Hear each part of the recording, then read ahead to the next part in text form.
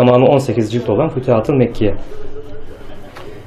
Burada ilimler üç kısımdır buyuruyor Muhittin İbn Arabi Hazretleri. Birinci kısım akıl ilmidir.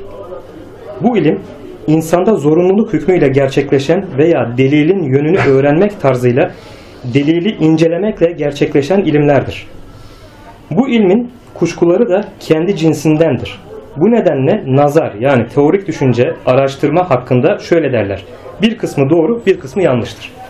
Demek ki nazar, teorik düşünce ile varılan sonuçta doğru olup isabet etme ihtimali olduğu kadar yanlış olup isabet etme etmeme ihtimali de var. Çünkü akıl, nazari, teorik düşüncede yüzde yüz isabet eder diye bir hüküm yok. İkinci ilim haller ilmidir. Haller ilmi sadece zevk yani yaşama, tatma yoluyla elde edilebilir. Dolayısıyla akılcı kişi onu tanımlayamaz. Ve öğrenilmesi için kanıt ortaya koyamaz. Balın tatlılığını, sabır otunun acılığını, aşkı, coşkuyu, arzuyu ve bunlara benzeyen şeyleri bilmek bu kısma girer.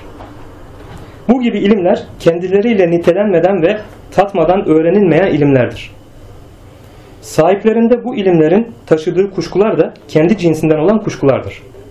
Söz gelişi tatma duyusuna acı safra baskın gelen kimse balı acı hisseder. Halbuki bal acı değildir.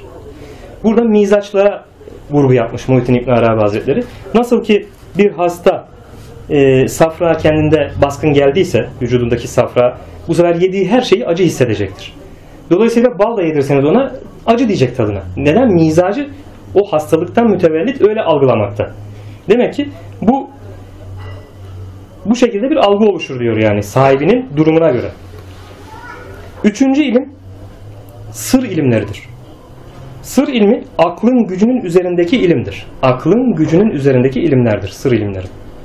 Başka bir ifadeyle ruhul kutsün sırra üflediği ilimdir ve peygamber ve veli o ilme tahsis edilmiştir. Demek ki peygamber ve onun varisi olan velilere ancak tahsis edilmiş olan bir sır ilmi var. Ledün ilmi dediğimiz mevzuat. Şimdi üç sınıf olarak bu ilimleri nitelemiş Muhittin İbn Arabi Hazretleri. Sırlar ilmi olan bu üçüncü sınıfın özelliği şudur. Bir insan onları bildiğinde bütün ilimleri öğrenir ve kuşatır. Demek ki kişi sır ilmini elde ederse bütün ilimleri elde etmiş oluyor. Diğer ilimlerin sahipleri böyle bir imkana sahip değildir. Dolayısıyla bu kuşatıcı ilimden daha değerli bir ilim yoktur. O bütün bilinenleri içerir.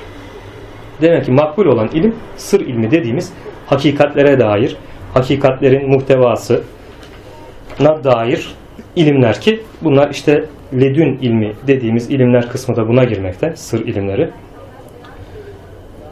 Üç sınıfa ayrılmış akıl ilimleri, hal ilimleri ve sır ilimleri diye